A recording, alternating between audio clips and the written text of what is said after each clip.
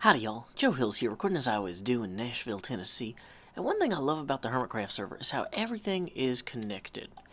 Like we've got this trail here that begins and continues up and around, and we've got stairs that lead down. And if you follow some of these trails though, like this bridge here, actually connects via this path here, and this path here, and this path here to these areas. And we have this wonderful little like, you know, kind of country path down here. And it's not very well lit at the moment, which makes me a little bit wary of actually descending too low. But you can take this path and follow it past these little buildings here and under this tunnel all the way up and around to Welsknight's base over here. And there is its logical conclusion at this dock. Now we're a submarine. But not for long. We're like a ICBM fired from a submarine, a nuclear explosion waiting to happen of creativity and joy. Now, one thing that is not connected to this path system is my base. Now, you guys probably already know this if you've been watching for a while, but my base is just on the other side of these hills. And I've told Tango that I, or not Tango, dang it, Tango's the one that's asleep, so I'm just like remembering that he exists. Thanks, Tango.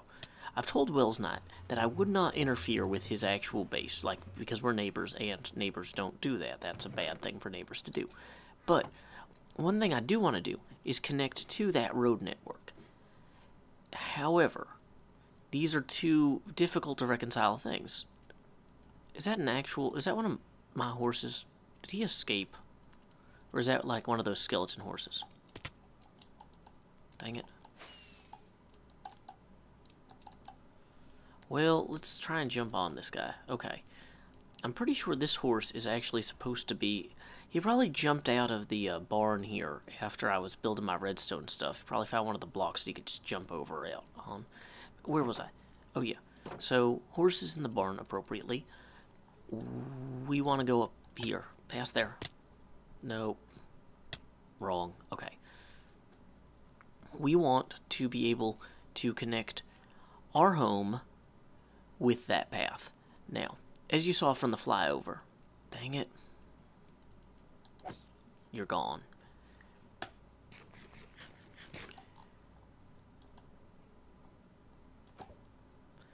As you saw from the flyover, we've got these impassable mountains between my base and Wills's, which I think serve as a great buffer. We don't want to have, you know, problems because of bad fences. Good fences make good neighbors. And there's another one of those purple things there. So you see, though, how close the bases are. Like, here is one of Cub's beacons. Like, this is, this is right next to his base. But this was the nearest available planes that I could really justify working on.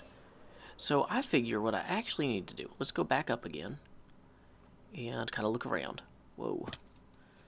Hopefully there's not a lot of creepers here. If we look at where this trail runs, it kind of turns right here at this little hut which I haven't actually visited. I hope it's not full of, like, monsters. Let's see, we got some tools hanging up, got a little bed, some very interesting artwork. Little interior garden here. Paper for people to write on. Little sink. So this is like a little cozy home, and I was thinking, what if we extended the uh, path further this way? Like, we ran it through here, maybe, because this would be dramatic. Have, have the path kind of continue through this valley for a little ways. And then actually circumvent, or circumscribe, or circumnavigate, or whatever, uh, Welsknight space. Now, in order to do that, we're going to have to go a pretty good ways out. Because his base starts right there, but it kind of runs all through these mountains. But let's go up. Up again. So from up here, you can see Welsknight's Space goes there. So if we have our trail continue this way, and maybe kind of run through this valley here, and then through this valley, we can actually kind of go around Wels's area. Well, no, that's going to be where his beacon is. So we'd have to run it all the way up and over here, through this desolate steppe. Hmm. Desolate steppes are not usually the best locations for hospitable trails, but maybe you can improve a desolate steppe a lot more than you can improve anything else. So let's see, if we go up and over here, then we are... Wait, where are we? Did I go way too far? Okay, I think I clearly overshot my base by a good distance. Or am now completely lost.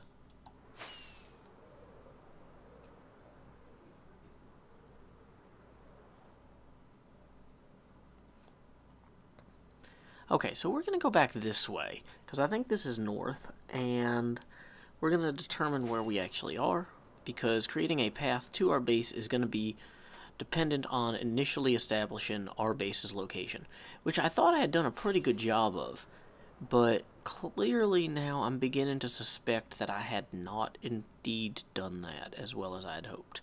Okay, so here's our base. We've got our portal there. Let's see, if we look at it realistically, maybe we should go ahead and actually grab that horse. Because we are not actually, like, the, the, the uh, flat mechanics here are just throwing us all off. Dang it. So, the only real land pass to our base is going to be through this or there. But like I, this one is where we've got our kind of thing set up, our horse racing track already, with our various speeded horses throughout. So then if we created a bridge across here, or across here, I don't think we want to go that way. That's going to be too clearly directly into Wels's area. But let's descend this, and then resend on the other side.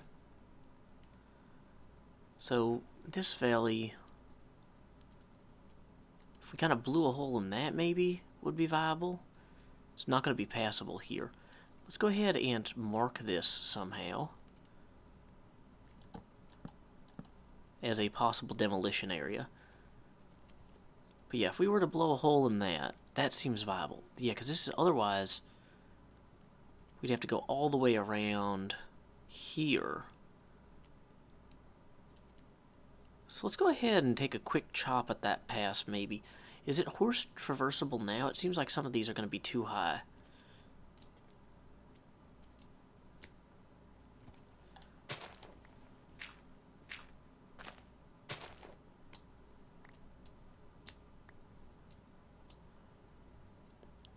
So it's a little tight, but we can actually navigate this with some work. Whoa. Okay, let's go ahead and mark this on this side as well. We got a pretty deep fall there. Whoa, sorry, horse. But we can reascend here.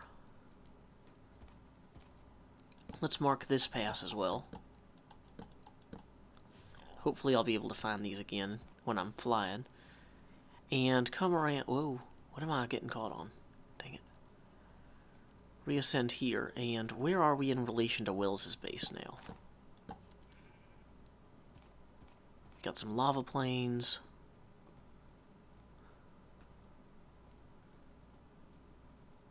So there is his beacon, which means we might be directly coming into his bay, which we don't want to do. We need to go around the bay. Yeah. So this is still too close, because there's his bridge. There, okay.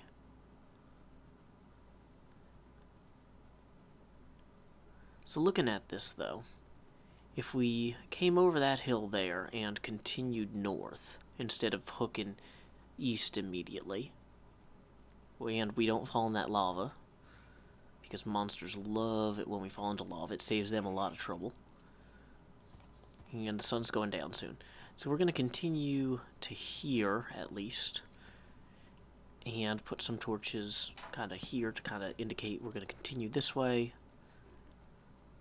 And then maybe we just need another bridge, like, across this plane. Probably should be making, like, more arrowy arrows instead of just putting down torches, but I have a feeling that if we go this way, here, This should be far enough. Let's see. Or is this the part where we learn, my goodness, we've gone too far? Okay, so there's this portal. So then we're getting into the area where we should be... Whoa, not going in there.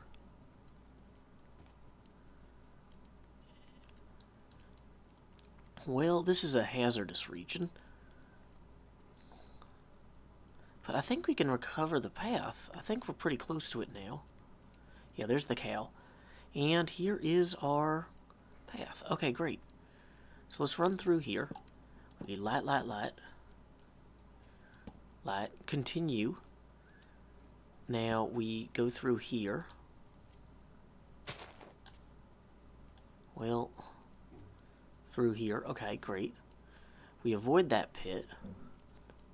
Now this path is just going to be very broadly at the edge of his view distance, so we're going to want to clear it with him before we actually build it, and we can move it behind that hill in particular if we need. But I think on the whole that this is going to be a winner. And let's try and get back home before dark.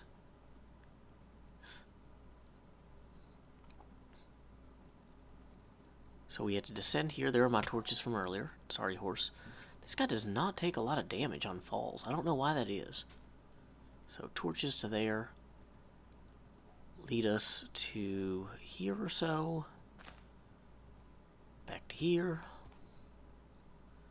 Getting very dark. Not thrilled about that. Up and over. Oh, getting back up that way is going to be a hard one. Okay, we're going to go ahead and shovel this.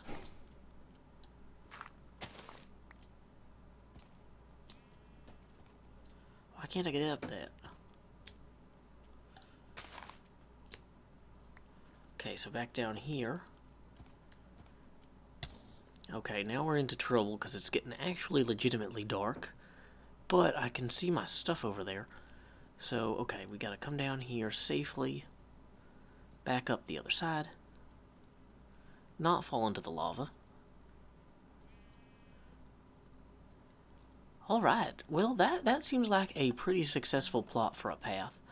So it's just a question of getting it constructed and kind of figuring out maybe some milestones along the way. Like I like the little houses he has along the path that you can set up in in case you're ever in any trouble. Like if you're, uh, oh no, it's late at night, I can go in this house and then use the bed. Like that, that those little rest areas are really smart to have. Did I lose the horse in the hole? Okay, it'll be fine. So, anyway, let's go ahead and give this a quick flyover at night so we can see our torches and see our kind of progress. So through the arch, over here. This is going to be a little bit of a, whoa, difficult part there.